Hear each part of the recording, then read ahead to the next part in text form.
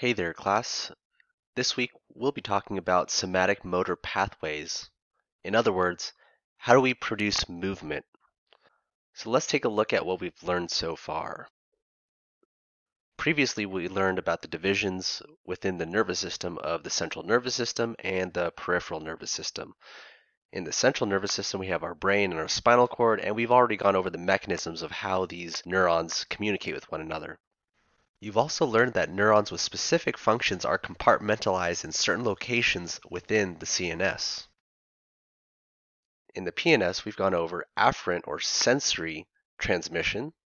So this includes things like somatic sensory, information that's coming in from the skin, skeletal muscles, special senses.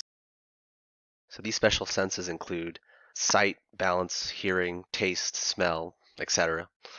And we also have visceral sensory information. So we didn't talk too much about this, but this is how we uh, perceive uh, sensory information coming from all our different organs. So what we're going to focus on this week is these motor or efferent pathways, so transmitting um, information away from the central nervous system. So we already went over the autonomic motor systems, which innervates a lot of the visceral organs that help maintain homeostasis.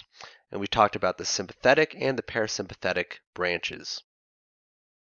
So this week, what we're going to be talking about is the somatic motor efferents, which innervate our skeletal muscles.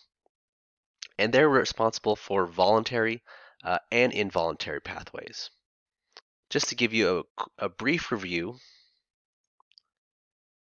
on the left you see the primary motor cortex, and depicted along it is the homunculus, where the size of uh, the particular part of the body represents to uh, the amount of neurons that are dedicated to controlling that part. And so the primary motor cortex uh, has these pyramidal neurons which send their axons down through the brainstem and down through the spinal cord through the corticospinal tracts.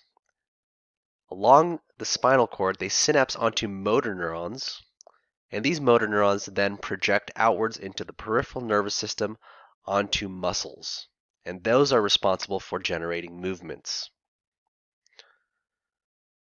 And so this pathway that we see here is dedicated to producing voluntary movements, right? We initiate a response from the primary motor cortex, and it transmits the information down the spinal cord and eventually reaches our skeletal muscles.